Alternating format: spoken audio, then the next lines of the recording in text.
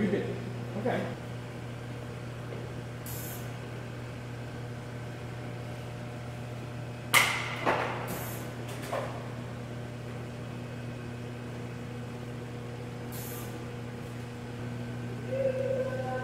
This is the Yamato DP63 vacuum oven.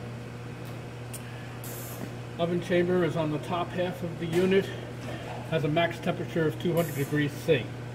All the controls are on the front panel here. You can hook up a purge gas, which would be this, which I have closed right now. Your vacuum pump, which is in the back, I'll show you that, um, is connected here. The pump would be on normally. Open it up to create the vacuum, close it to close the vacuum. I have it closed right now. I'm in the process of final testing the vacuum uh, ability. That's why this tape is here, just so I know where it was and it's holding. Your controller for the temperature is here. It's a programmable controller, able to store programs. It's also, uh, you can set it as a fixed rate, which is what I've got it at right now. And as you can see, I've got it set at the max 200. It's reading 200. I did a ramp rate profile, and it matched what's in the in the manual. You can access the different areas. Uh, there's menu, mode, and display. Uh, all of that is in the manual, but I just show you that you can go there and you can change your temperature to whatever you want it to be. When you've made your changes, hit enter and it accepts those changes. it also gives you a visual display. As it's ramping up, these LEDs would be flashing.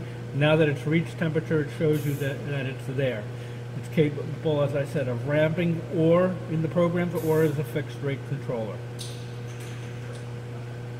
Power for the controller is here. It's not power to the entire unit, just power to the controller.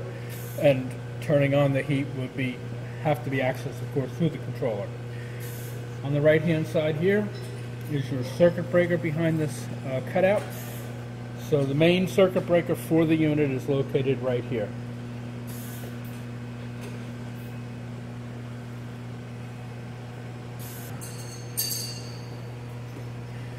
Okay, here's your purge input gas that you would hook up here, and your vacuum line is here. I have the vacuum pump currently outside of the unit. It'll be shipped on the in, on the inside here, and you can normally run it from in there if you'd like to. The vacuum pump operates on 115. The unit itself is 220 volts, 14 and a half amps when, when heating at full power.